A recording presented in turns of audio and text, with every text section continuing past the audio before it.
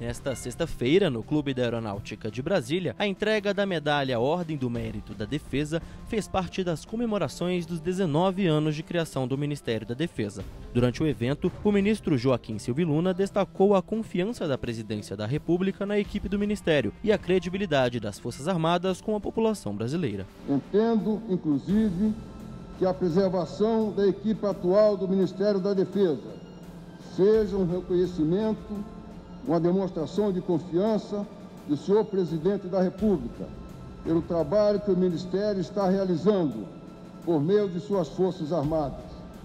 Reconhecimento este que, pelos índices de credibilidade, representa o sentimento de grande parte da nossa população. A medalha da Ordem do Mérito da Defesa foi criada em 2002 e tem a finalidade de homenagear as personalidades civis, militares e organizações brasileiras ou estrangeiras que prestaram relevantes serviços às Forças Armadas. É um reconhecimento do, do Ministério da Defesa, das Forças Armadas, para minha pessoa, com o meu trabalho, que é singelo e é bom ser reconhecido nessa desse tamanho desse reconhecimento, né? Eu trabalho numa área de ciência e tecnologia que normalmente fica mais menos em evidência. Então, tá aqui ver todo mundo é legal. É uma emoção muito grande, uma honra muito grande poder receber essa comenda do Ministério da Defesa.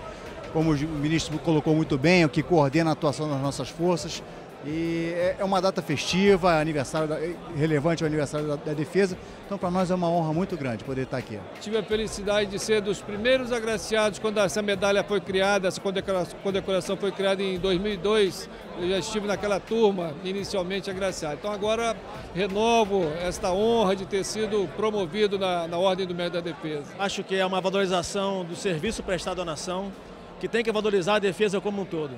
Parabéns aos agraciados com a Ordem do Mérito da Defesa. E muito obrigado a todos que nos honram com suas presenças.